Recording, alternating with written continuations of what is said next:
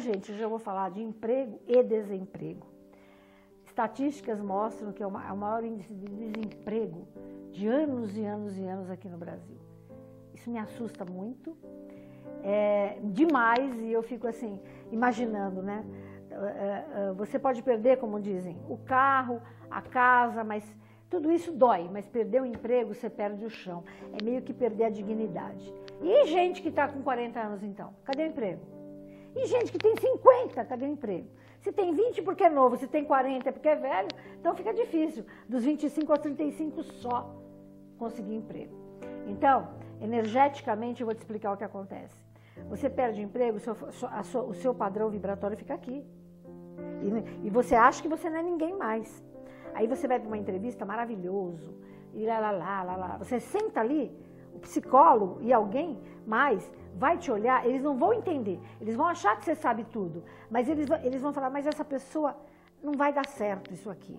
E você não passa. Por quê? Leitura da tua aura, leitura de medo, leitura de pavor, leitura de insegurança. Então, vamos aqui fazer alguns, algumas dicas para você ficar seguro, tá? Primeiro, nunca mais você vai ser auxiliar administrativo só tá? Você vai ser isto mais isto, cursos e mais cursos. Você tem que saber que se você não souber mexer em TI, tecnologia, não vai dar mais certo, tá? Nunca mais focar só num trabalho. Um, dois, fita número dois, fita número três, gente, pelo amor de Deus, tá? Polivalente.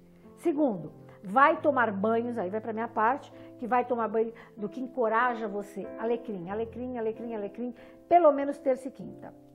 Depois, um banho que te acalma, pelo amor de Deus. Sexta-feira, boldo.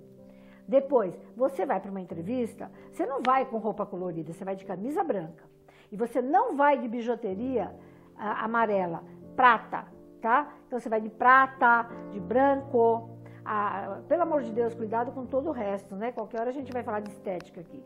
Então, para ir para uma entrevista, você vai pleno de que você é filho dele, de Deus. Você vai orar o Salmo 23, 91 todos os dias. Você vai botar teu joelho no, no chão e vai dizer: peraí, mas eu sou bom, eu sou qualificado. Só falta alguém me ver.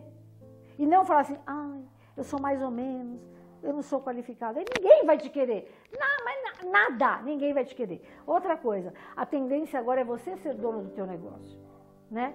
Eu brinco aqui e falo sempre, eu, eu, se eu estiver desempregada amanhã, eu juro para vocês que eu vou aqui em São Paulo, na Avenida Paulista, que é business total, tem 450 lojas para faxina. Eu vou faxinar sábado e domingo com uma equipe de 10 faxineiras. Eu vou ficar rica. Pronto!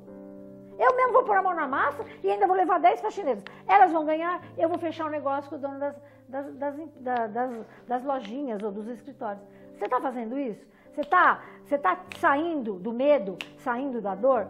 Juro, se você não sair do medo e da dor, você vai ficar desempregado. Segue aqui as dicas, as orações. Beijinho.